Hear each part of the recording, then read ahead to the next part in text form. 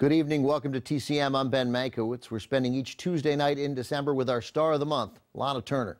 Tonight's lineup features some of her best films from the 1940s, the decade where she became an A-list star and a full-fledged sex symbol, largely due to the success of our next movie. From MGM in 1946, The Postman Always Rings Twice. Turner burst onto the Hollywood scene nine years earlier, signing a contract with producer-director Mervyn LeRoy and going with him to MGM when she was just 16. For the next several years, she played a variety of roles, dancing co-eds, a Ziegfeld Folly girl, you name it, but they were mostly the same type, a nice, beautiful girl.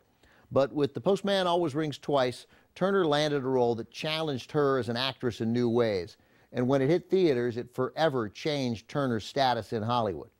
Turner plays a disenchanted young wife who plots her husband's murder with the help of a handsome young drifter captivated by her beauty.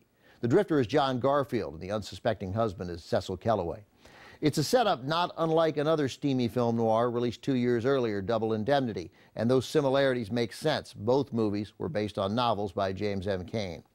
Postman checks all the boxes on the film noir checklist passion, sex, murder, betrayal, a femme fatale, even a voiceover narration.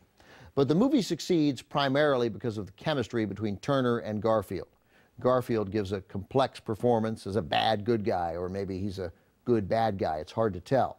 And like a good noir, that's how it's supposed to be.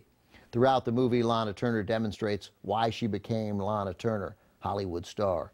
She's alluring, sexy, mysterious, unpredictable. You cannot take your eyes off her. From director Tay Garnett in 1946, one of the year's biggest hits, The Postman Always Rings Twice. After seeing The Postman Always Rings Twice, James M. Cain, who wrote the novel, inscribed a leather-bound copy of the book for Lana Turner, thanking her for giving a performance even finer than he expected. The movie elevated Turner's status as the sex symbol of the 1940s, and she became one of the definitive femme fatales of the movies at the age of just 25. This was the first time she had ever played an out-and-out bad girl on screen, and her performance was so memorable it influenced her screen image for the rest of her career.